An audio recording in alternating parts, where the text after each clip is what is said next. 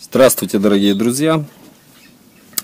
Сегодня у меня в руках а, фильтр от германского производителя Eheim Pickup 60. Производителем заявлена мощность потребления электроэнергии в 4 Вт, э, предназначен для аквариумов от 30 до 60 литров и, соответственно, э, мощность воды до 300 литров в час. Размеры фильтра достаточно громоздкие, а, подъемная мощность до 35 сантиметров. Значит, упаковка, как всегда, на высоте у немцев. 4 крупных присоски в комплекте идут. Так, э, инструкция на, не знаю, там 20 языках, включая русский собственно, сам фильтр и гарантийный талон. Вот, друзья мои. Ну, что хочу сказать. Первое впечатление. Пластмасса, качество отличное.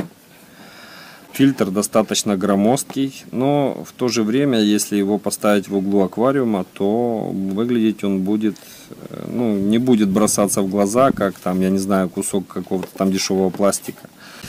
Так, ну сейчас, сейчас я попробую разобраться, как все это дело работает. Значит, вверху у нас есть а, вот такая вот штука. Это, значит, сопло, которое, из которого выходит вода и его можно направлять, есть регулировка вправо-влево.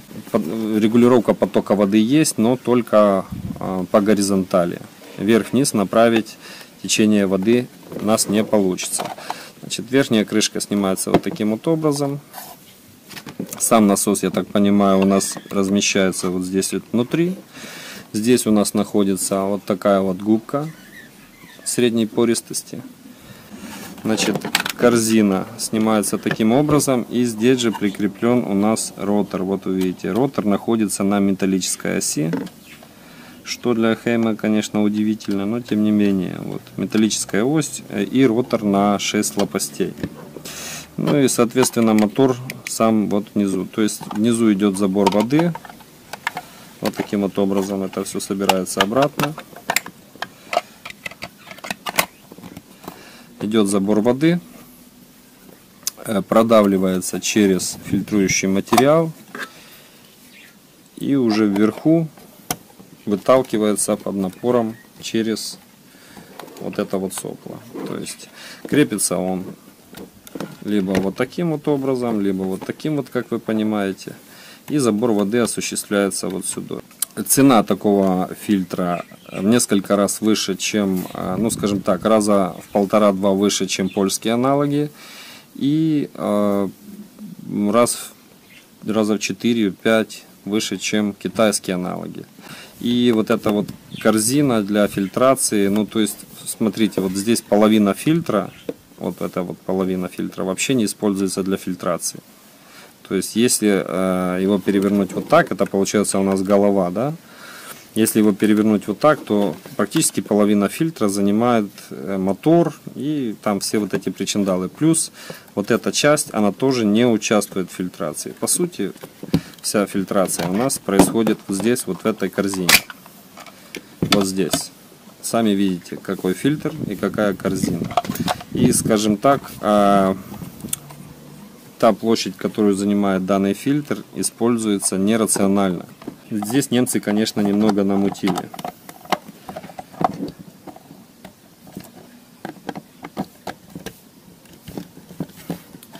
Так, ну что ж, э, в комплекте к этому фильтру есть а, значит держатели для присосок они цепляются вот сюда вот значит есть еще насадка на шланг собственно, сам кусочек шланга для обогащения воды воздухом.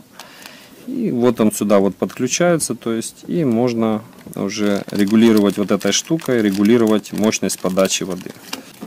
Значит, здесь у нас есть крепление для присосок. Вот таким вот образом. Они сюда защелкиваются. И я так понимаю, что назад уже его вынуть не получится. Пока я это делать, этого делать не буду. Э, значит, собственно, сами присоски, крепление вот таким вот образом, видите, да, разъем. Вот, и все это крепится сюда. Это раз. Второе, есть вот такая вот насадка для шланга. Ох, как это все плотно заходит. Вот. И, соответственно, вот таким вот образом все это дело регулируется. Ну и одевается вот сюда. То есть, вот таким вот образом. Вот, пожалуйста. Вот такая вот конструкция ВХМ для обогащения воды воздухом. Давайте поставим этот фильтр в аквариум, посмотрим, как он работает, как он, с какой мощностью прокачивает воду и, соответственно, как он обогащает воду воздухом. Друзья, ну и, наконец, последний обзор фильтра, э, его тест-драйв в воде. Давайте погрузим его в воду и посмотрим, как он быстро запустится и как он работает. Запуск фильтра моментальный.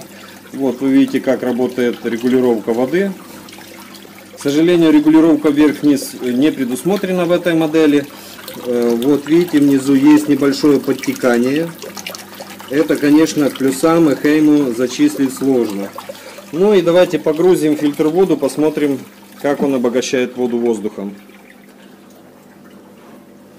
Вот, пожалуйста. Ну, то есть на ту длину э, шланга, которая выделена нам производителем, э, обогащение воздухом идет отлично. И теперь давайте попробуем его прикрепить к стенке аквариума и посмотрим, как все это дело работает. Ну вот, пожалуйста. Значит, э, присоски держат хорошо. В этом фильтре, на удивление, э, они с крепления не слетают, что огромный плюс.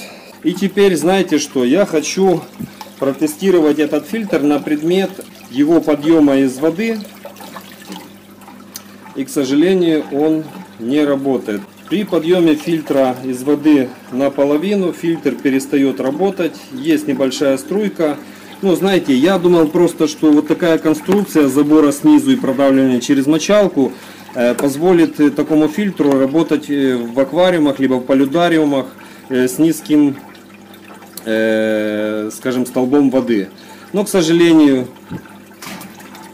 этот фильтр в таких условиях отказывается работать. То есть, ну вот, э, он должен быть практически полностью погруженным в воду. То есть, ну хотя бы минимум на э, где-то где-то процентов на 70 должен быть погружен в воду, и тогда он только работает. Э, значит, что хочу сказать. Конструкция фильтра мне не понравилась, потому что очень громоздкий получается у нас заборник воды. Э, сам фильтр очень толстый и, как я уже говорил, он не используется полностью для фильтрации. Э, корзина для фильтрации достаточно мала и, э, ну, скажем, объем фильтрующего наполнителя может ну, чуть-чуть больше, чем китайских аналогов. Собственно, решать вам, стоит переплачивать такие деньги за вот красивый дизайн и качественную пластмассу либо не стоит. Я думаю, что э, лучше работать, чем китайские аналоги, он точно не будет, тем более, что, ну, посудите сами,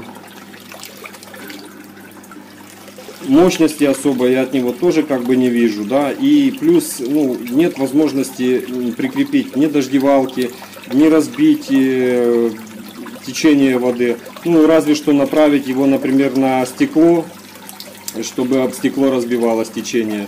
Ну, это, сами понимаете, тоже как бы не вариант, тем более за такие деньги. С другой стороны, э, Эхейм, ну что, он практичный, он тихий, и он сделан из качественной пластмассы и достаточно в таком э, интересном дизайне. Если у вас есть лишние деньги и вы хотите получить за них Э, практичный фильтр без танцев с бубном, то Эхейм как раз для вас. Но если же вы ищете максимально качественной фильтрации и хотите сэкономить при этом на деньгах, то советую вам все-таки рассмотреть э, варианты с фильтрами китайскими, либо от компании Aquael. Я надеюсь, мой обзор вам был полезен. Если это так, ставьте пальцы и подписывайтесь на обновление канала. Всем добра, до новых встреч!